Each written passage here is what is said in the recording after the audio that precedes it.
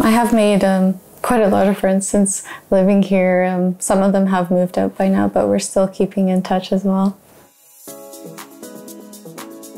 So I decided to stay in a share house um, because since I'm studying Japanese, I wanted to live in borderless house because they tried to have 50 50 so 50% uh, japanese native speakers and then 50% um, foreigners so i kind of wanted to you know listen to the language daily and maybe try to interact with people as well I was interested in having conversation with Japanese people as much as possible. So I I decided to come to come here for especially for that opportunity. ボーダレスハウスの施設は、えシェアハウスになっていて海外の方が、え半分日本人の方が半分で一緒に暮らすシェアハウスです中野サンハウスの、えっと、設備としてはまずキッチンは、え調理器具とか、えカトラリーとかあと食器類あと電子レンジとかの全ての家電製品も揃っているのでお料理も、えー、すぐに楽しんでいただけますまた、えっと、ダイニングに関しては、え、テレビもありますし DVD プレイヤーとかあとプロジェクタートスクリーンもあるので映画とかゲームとかを見て楽しんでいただけます。There's a lot of people living in this house now, but um, we do get to have like a lot of events together and everything. So um, everyone's of course pretty busy, but we do get to do like movie nights and stuff, and uh, sometimes go out together as well.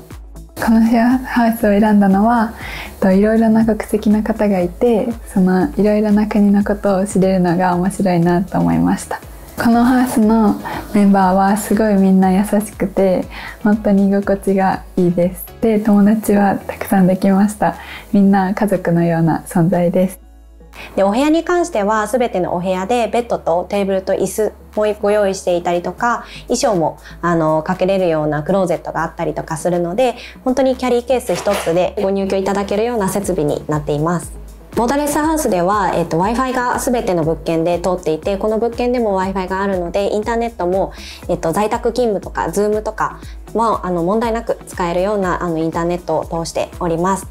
This share house is located in the Nakano area, so it's a pretty quiet neighborhood. Um, it's not as busy as if you were to go to Shinjuku or Shibuya. Um, so that's also partly why I chose this share house too. There are um, two combini really close to, to, to home and also it's pretty much close to the Nakano station it's almost 10 minutes by walk and it was really useful for me also for the school that I was attending. If you were to go to Shinjuku from the share house it's only about I think two or three stops away on the station so it's really close.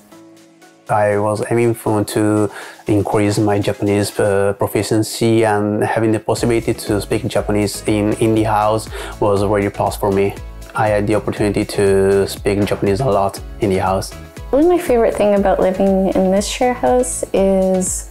just getting to interact with everyone and make friends. Um, you know, even have dinner together, have cooking parties, and go out and hang out together. Um, usually we do have welcome parties as well when someone new is coming to the house. 将来住みたい人に対してのメッセージは、えっと、本当にみんな優しくて何も心配することはないし一人でいるよりもシェアハウス住むって最初ちょっと不安もあったけどそのそんな不安を持たなくて全然いいと思うしどんどん新しい環境に挑戦してほしいなと思います。